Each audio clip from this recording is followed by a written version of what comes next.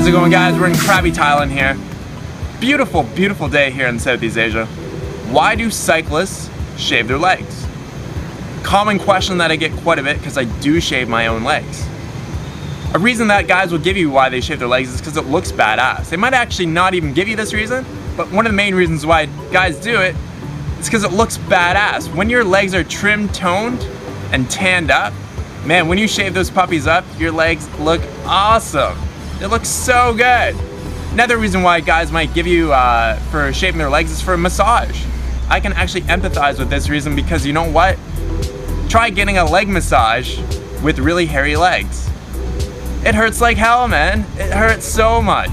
Another reason why guys might tell you that they shave their legs is for aerodynamics or for uh, for weight even. I, I don't know if anyone actually uses the weight the weight excuse, but for aerodynamics, the effect that the leg hair is actually going to make on your cycling for an aerodynamics reason is actually negligible.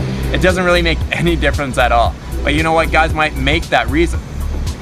Number one reason why I think guys shave their legs, uh, why cyclist guys shave their legs in particular, is because everybody else does it. It's the culture. So just imagine a new cyclist coming in and riding in the bunch and he sees, oh man, all those other guys are shaving their legs, so I, I'm gonna start shaving my legs too. That's the thing, it's a culture, right?